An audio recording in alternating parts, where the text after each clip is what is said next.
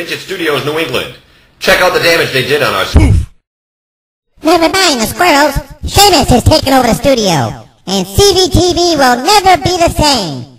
Starting right now.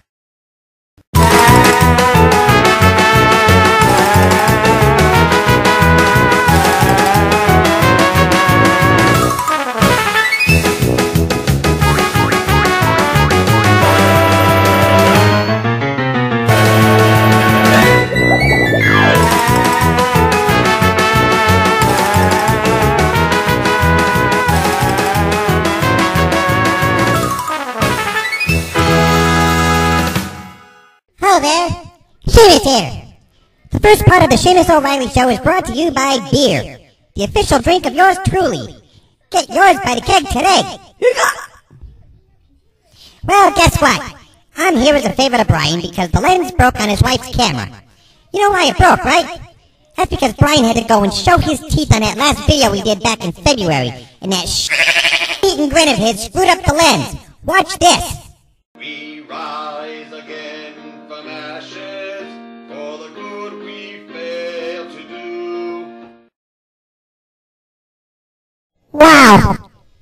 boy's got a face only his wife could love, I'm telling you. In other news, I was gonna build myself a new weather machine, but I decided to take the lazy route and buy a used one. All it took was four grand. I used McShay's credit card, since he's a credit risk anyways. Now I just have to get O'Malley's credit card so I can pay for another four grand for repairs. By the time this thing's finished, the end result will be so good that it'll be ineffable. By the way, I have the definition right here for the word ineffable for those involved in translating the mass who don't think the people are going to know this. They're going to know it now. Ineffable is a word that's used to describe something that can't be put into words.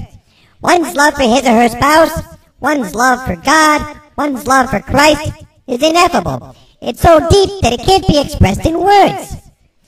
Even Hindels took my favorite phrase out of the hymn Crown Him with Many Crowns that mentions ineffably sublime.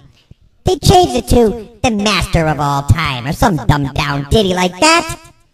But now we can put the word ineffable in the mass where it belongs. And also in crown him with many crowns. Okay? Okay. Now, back to the weather machine. This machine was designed to make thunder boomers on demand. In fact, I heard a newer version of this model was tested in Rhode Island just the other day. This thing was not only creating thunder boomers, but good-sized hailstones and floods too. When I get done with this machine, it'll be causing avalanches to originate at the bottoms of hills and work their way up the hills. I could even make snow fall over a beer keg to keep it cold. I could make beach weather in the South Pole if I wanted to. But now, Don't do this at church. Here's something not to do at church. If you're preaching, don't throw erasers or chalk or even hymnals to the man who is sleeping. Well, if that hymnal is glory and praise or gather, eh, maybe throwing them is probably the best use for them. But seriously though, simply signal to the one sitting next to him, whether it be his wife, his kid, some snarky stranger. Use an eye signal. Or maybe clear your throat. Wake him up somehow. Have that person nudge him, punch him, maybe poke his side with a joke buzzer from that Our Father holding hand kit that he or she might have bought. Or if there's a baby nearby, chances are he has a bottle. That person could perhaps borrow the bottle and pour the contents on his head. The only problem with that would be the fact that the contents of the bottle might leak after a few minutes.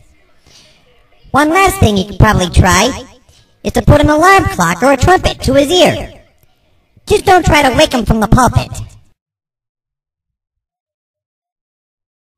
I have in my left hand our first ever CVTV Top 10 list. Top 10. Today's Top 10 list is brought to you by Gibbet, a place for people who do things like this.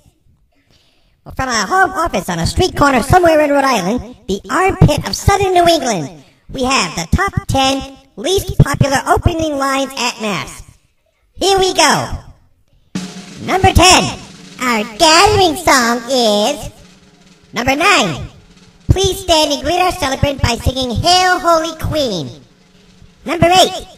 As we gather with our friends to meet the Lord, let us sing. Number seven. As we assemble before the God who loves us, let us sing. Well, I don't think we'll be assembling before some God who hates us anytime soon now, do we? Number six.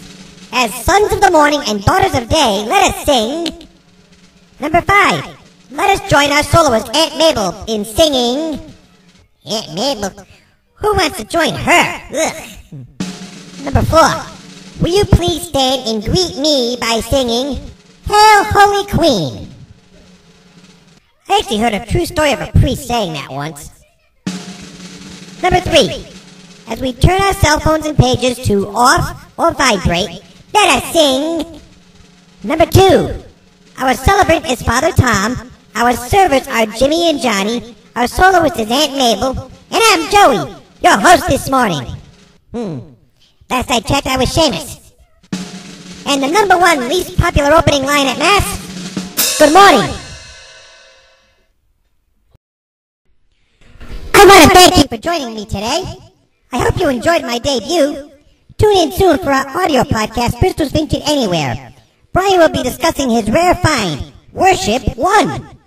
Until then, on behalf of Brian and myself, I'm Shamus O'Reilly. Ciao for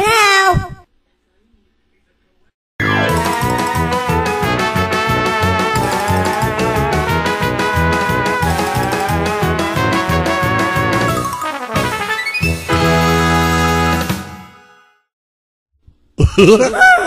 Made on a crappy PC.